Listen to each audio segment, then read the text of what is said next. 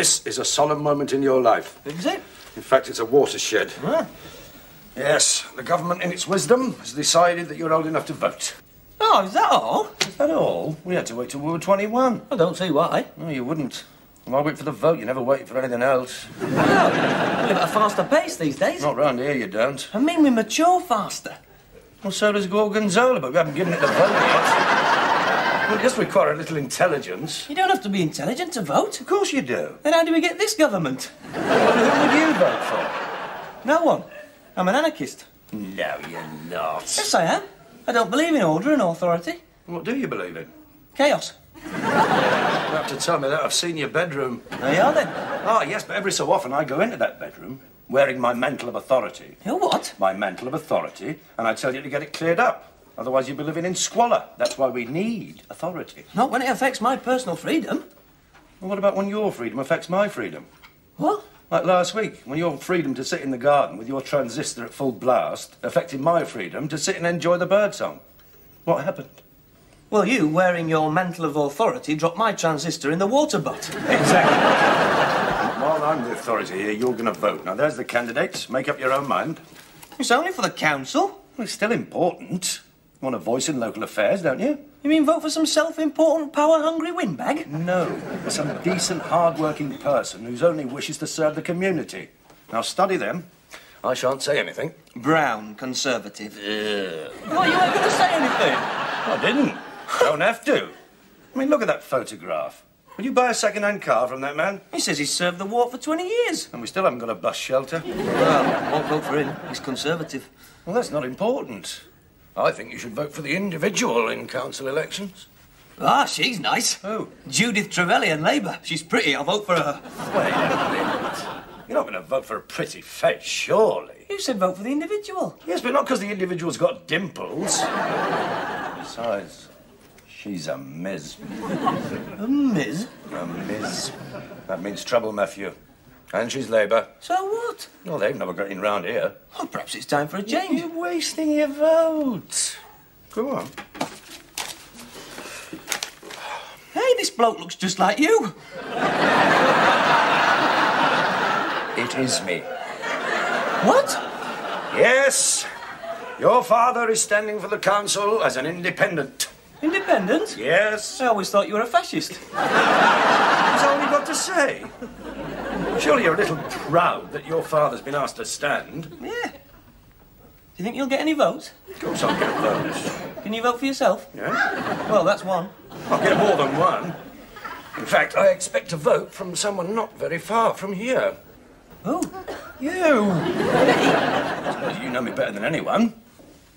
You of all people can vouch for my, my integrity, my fair-mindedness, my ability to hold office. Yeah? So I can rely on your vote. No. I was counting on your support. Why, are you desperate? Of course, I'm not desperate. I'm a very popular figure around here. Probably be a landslide. Well, you won't need my vote then. My own son, fed and clothed by me, living under my roof at considerable expense, won't vote for his father. What are people going to think? All right, then, if that's how you feel. How much? How much? To vote for you. Your first vote and you're going to sell it.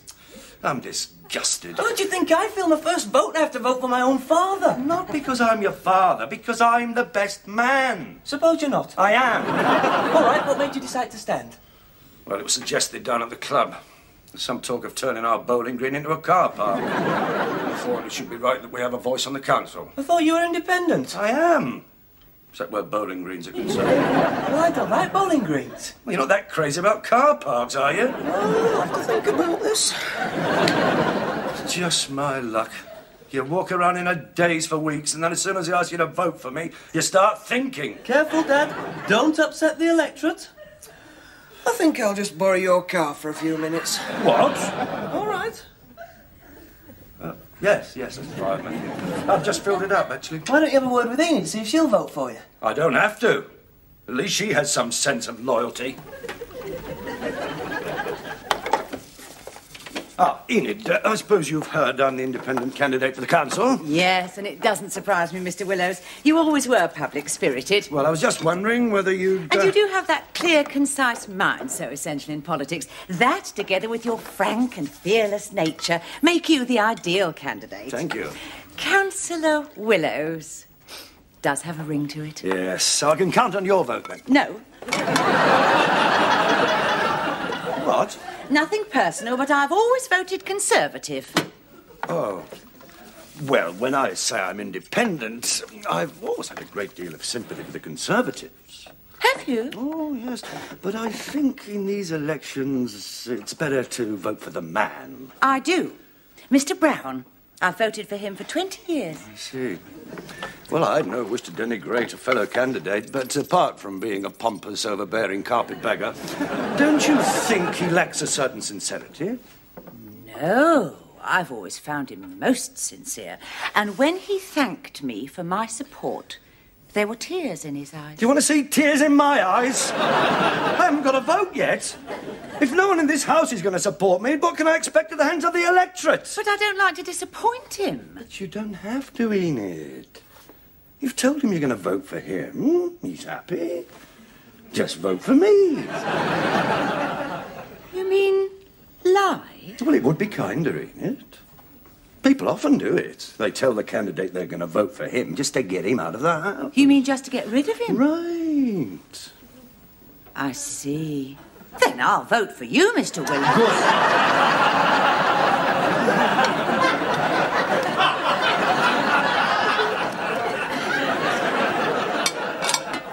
You're not just saying that to get rid of me. That depends. On what? Well, I know you have a clear, concise mind, but a candidate needs more than that. He needs heart. I've got heart. Mr. Willows. Call me Henry. Henry, if you have heart, why have we been arguing against my hourly rate for the last six months? Have we been arguing? Yes. Enid, if you wanted more money, you should have said. I did point out that I was paid well below the going rate and the cost of living was rising. Short of fainting through lack of food, I don't know what else I could do. But what's the going rate?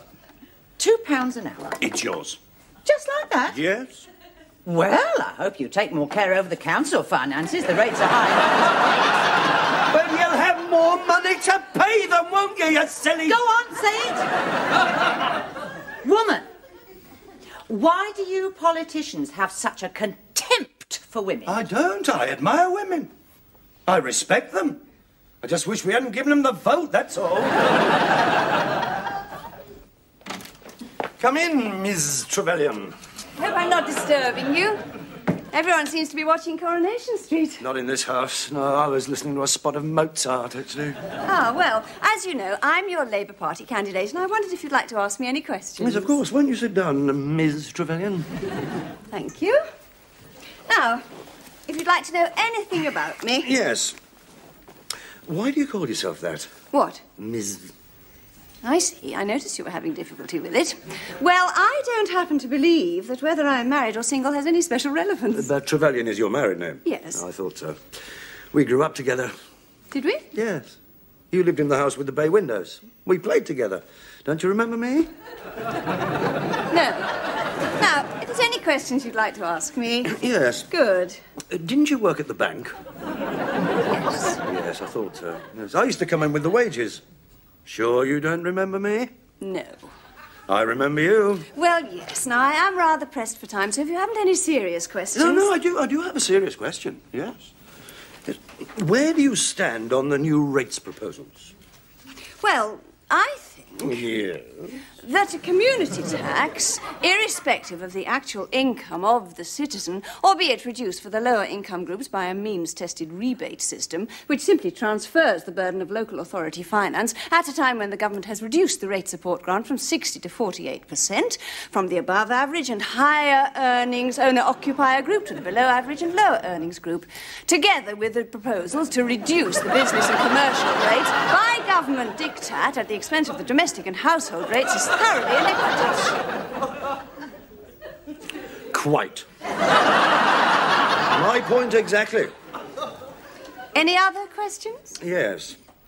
didn't you go out with a tall, thin man, smoked a pipe, thought a lot of himself? Yes, Yes. Whatever happened to him? I married him. What does he think of all this electioneering? I've no idea we're divorced. Mm. Knew it wouldn't work out. What a pity you didn't tell me that at the time while you were collecting the wages. Now, if you'll excuse Wait a me. minute. Don't you want to know if I'm going to vote for you? Oh, no, I naturally assumed that you were going to vote for me. Why? Because of the poster. Poster? What poster? In the window, vote Labour. What?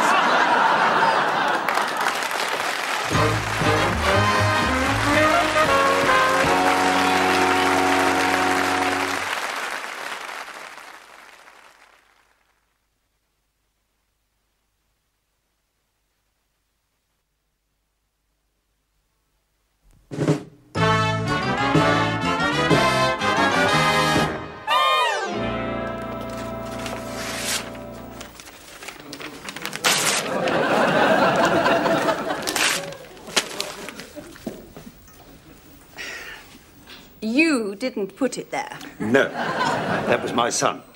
And I wouldn't get carried away. There's insanity on his mother's side. Oh, because he's voting for me? Well, let's face it, your chances are rather slim. Voters round here haven't returned a Labour candidate in living memory. Well, perhaps I think it's time for a change, for some new blood. If they want change, Ms. Trevelyan, it's there in the form of the new independent candidate. What do you mean, the old buffer from the Bowls Club? Oh, what? Buffer? Because he plays bowls? I suppose you think it's an old man's game. Well, it isn't. Requires concentration, skill, and cool nerve. Been our national game for hundreds of years. Drake played bowls. And when the Armada was off Plymouth Hoe, he said, Terry, let us finish our game first. And he went out and finished off the Spanish. That's a bowls player for you. Oh, I didn't realise he was a friend of yours. Who, Drake? No, the independent candidate. He's more than a friend, Miss Trevelyan. I am him, he, Henry Willows, independent candidate. Oh, I see. And what do you stand for, Mr. Willows? What? What are your policies? I don't have any, I'm independent. I don't hide behind party policies. No, no. I stand in front of my neighbours and friends and I say, Here I am, Henry Willows, the man. Judge me. And have they? Oh, yes, I've been overwhelmed by the response. I didn't know I was so popular. Yes, the offers of support have been fantastic. Except from your son. Yeah, but he's only doing that to annoy me. Yes, he seems to have succeeded. And if you're so confident, why have you kept me here? Are you afraid of me meeting the voters? I've not been keeping you, merely delaying your humiliation. We're a very close knit community around here. We stick together. And I wouldn't go next door, they'll probably set the dog on you. I've already been next door. He's promised to vote for me. Who, Charlie Smith? Yes. It's the last time he borrows my garden shears. Well, perhaps you're not as popular as you think. You can be too confident. I'll tell you how confident I am. I'm not just going to win, it's going to be a landslide. We'll see. I think I do remember you now. Oh, do you? Aren't you the little boy who got his head stuck in our garden railing?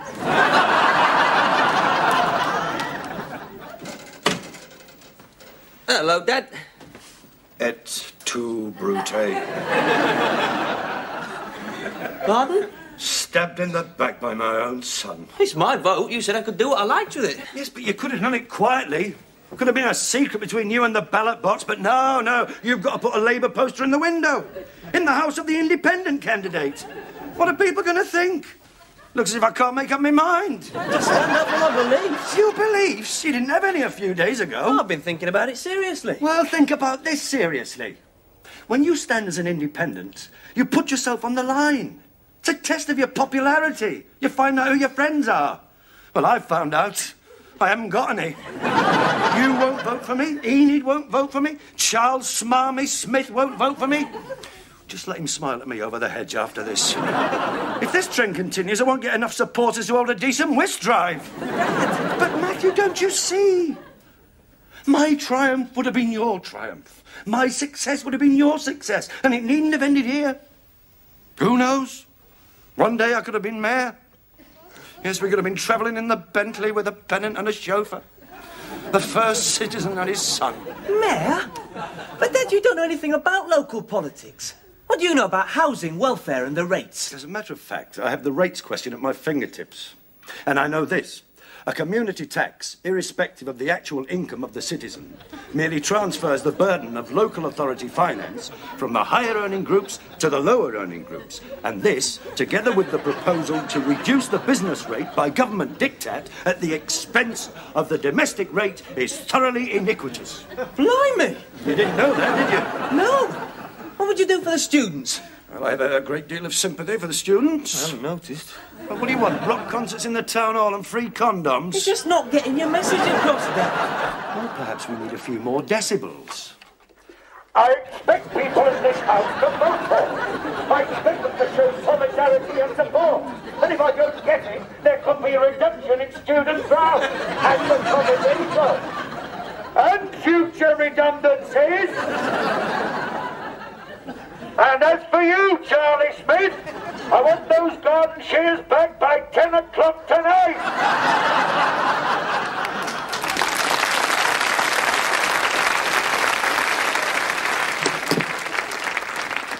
Thank you. Ah, Henry.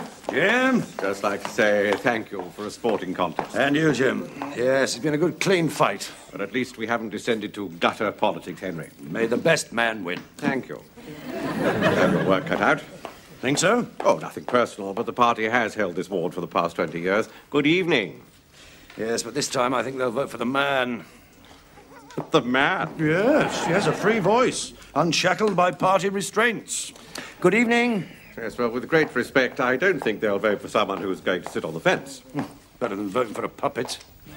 A puppet. I have given this ward 20 years, faithful service. And we still haven't got a bus shelter. Car park? Oh, yes, well, that's all right for the Tories. They've all got cars. What's happening to the pedestrians? I'll tell you, they're getting wet through. Uh, trouble with you, Jim. You only got to see an empty space and you build a car park. Got your ski slope? Yes, but it's hardly functional, is it? Apart from the fact we get very little snow, it's facing the wrong way. First bloke down, it ended up on the A1. I think you only got it to practice your winter skiing. That is not true. Then why are you trying to twin us with St. Moritz?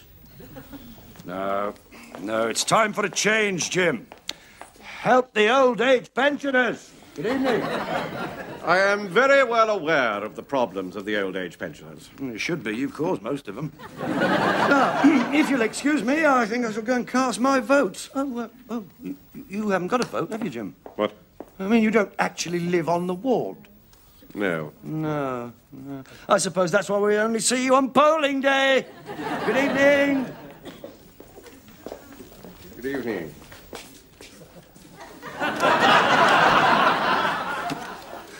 Matthew Willows. The same. Have you voted before? Oh, good heavens, yes, many times. Got a pencil? There's one in the booth. The booth? Oh, yes, the booth. Good turnout. Little slow. Ah, that's the rain. Bound to affect the Labour vote. Always does. Haven't got the cars, you see. Still, think they make the effort. Tell you this, nothing that stopped me from voting. Really? Nah, it's your duty. That's the way I look at it. I'd go through fire and flood to vote. Suppose that's because I'm a political animal. Over there. Right. Is it a cross or a tick? It's a cross. A cross? Think it'd be a tick, wouldn't you? That's the sign of approval. No, it's a cross. Yeah, but you usually put a cross when something's wrong. Look, if you want to put a tick, you can put a tick. No? If it's a cross, it's a cross. I don't want to break with established practice. I know where I'm putting my cross. Please, this is a polling station, not a political meeting. The ballot is supposed to be secret. I know that. I wasn't going to mention her name.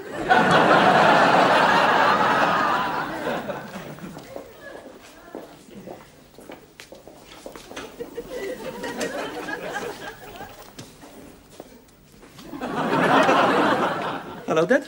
Just voted, Matthew? Yes? I don't think you'll get there any smaller. You put it in that box. I know. You've been very secretive. Well, it's a secret ballot, Dad.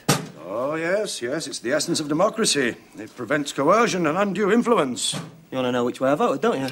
No, no, that's between you and your conscience. Good. But if you want to tell me, I mean, that, that's up to you. What's the point? It's in the box now. Whatever I say, you'll never know for sure. I'll know if you're lying. How? Whenever you lie, you have a little smile round your lips. I didn't know that. Yeah, so if you're going to tell me, you better tell me the truth. Well, I wasn't sure right up to the last second. I didn't know whether to vote for my principles and the good of the community or for you. In the end, I couldn't go through with it. I voted for you, Dad.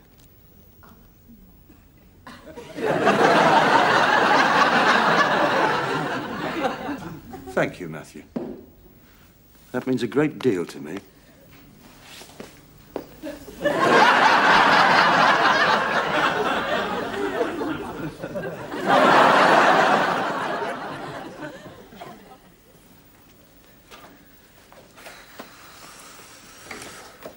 He's back. I know, I heard the car. Do you think he's won? Well, we'll know by the way he closes the front door. He's lost. I hope he doesn't blame me. Why should he blame you, Enid? You don't know what it's been like this week, Matthew. He's followed me everywhere, even to the polling station. I've had less trouble getting rid of gypsies selling white heather, Matthew. if he's lost, he'll be unbearable. No, whatever you say about Dad, he's always been a good loser.